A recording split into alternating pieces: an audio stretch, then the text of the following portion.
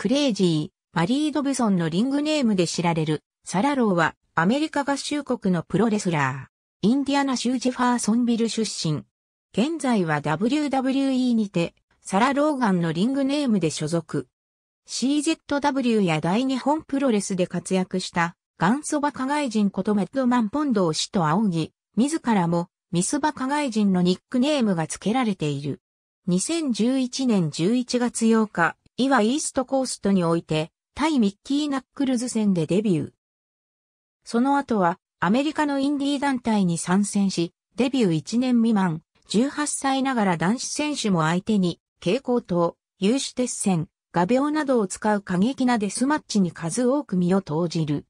2012年に初来日を果たし、6月9日の REINA ワールド新宿 FACE 大会にてワールドトライアウト3ウェイマッチと称して、ミアイム、リア・ボン・ダッチと対戦。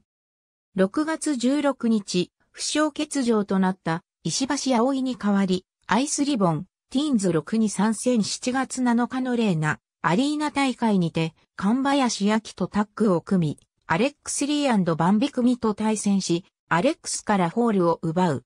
試合後に次の大会で、世界プロレス協会入りをかけて神林とシングルで対戦することが決まった。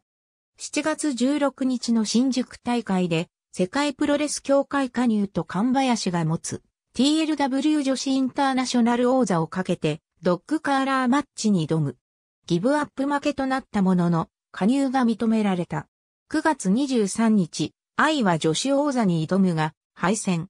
10月19日、レーナワールド所属選手に加えられたが、現在はリアルチャンピオンシップレスリングを主戦場としている。2013年7月、ワールド女子プロレスディアナに来日が決定し、同場マッチも含めて参戦する。2016年10月18日、アメリカのメジャー団体である WWE と契約を交わし入団。育成施設である WWE パフォーマンスセンターにてトレーニングを開始。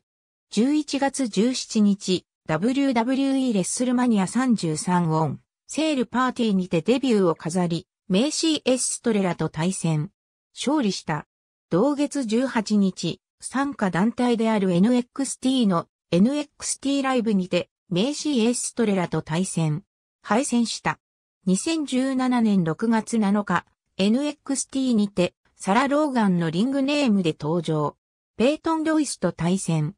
中盤にパンチとチョップの連打を繰り出す場面を作るが、最後にフィッシャーマンスープレックスを決められ敗戦。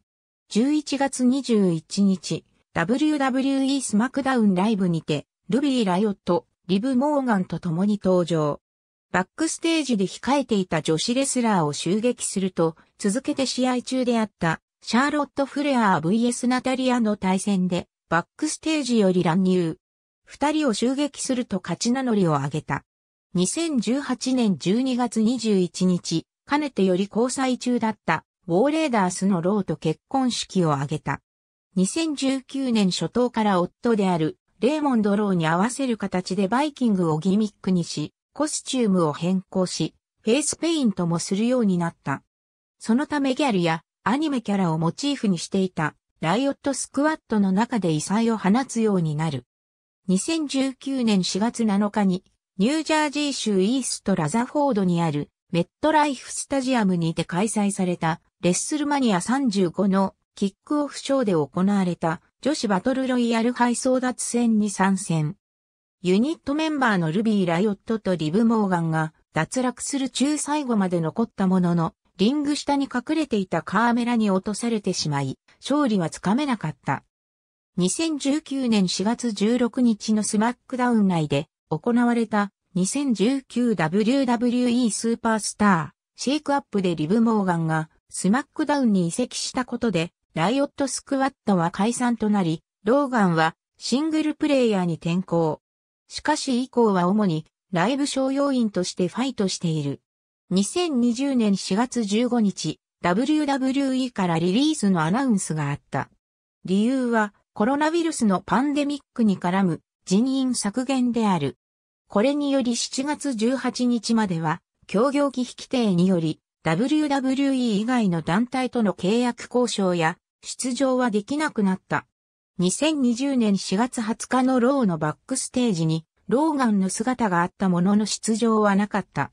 2020年6月22日、インスタグラムにて事実上の引退宣言をした。2021年2月9日、第1子を出産したことが WWE 公式ツイッターでアナウンスされた。ありがとうございます。